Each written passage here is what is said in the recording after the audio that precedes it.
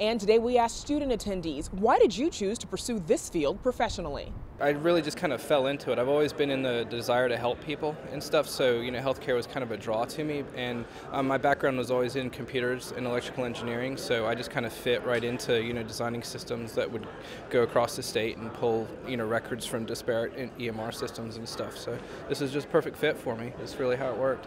So I choose to get into informatics because on uh, in the hospitals when I was using health records, I just wasn't 100% impressed by the functionality, and I felt like I'd like to help make this better.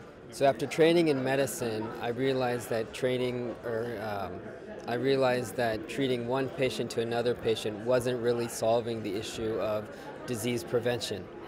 And so I figured the best way to prevent diseases would be to go into go into public health and figure out how we can prevent on a mass level. I am sponsored from my, from my country to study in this field in order to improve the healthcare system in my country.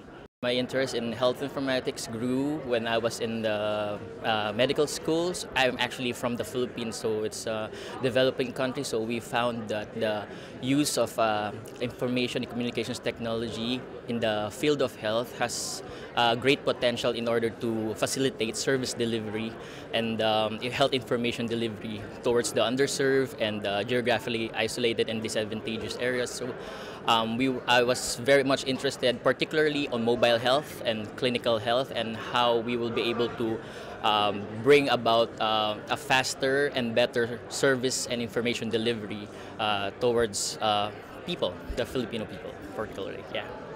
So I am an MD, and I did a couple years of residency, and in all of my clinical experience, I was just really pretty appalled at big disparities between technology use in, uh, in one hospital versus another. And um, I've become very convinced that healthcare information technology has a tremendous potential to make a huge impact in quality of care and efficiency. So I think it's really the way of the future.